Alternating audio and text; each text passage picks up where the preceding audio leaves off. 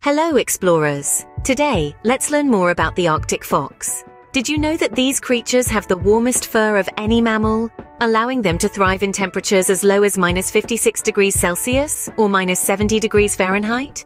Their thick, fluffy coats also change color with the seasons, blending seamlessly with the snowy landscape in winter and transitioning to a brown or gray color in the warmer months. Arctic foxes are skilled hunters with an incredible ability to locate prey beneath the snow.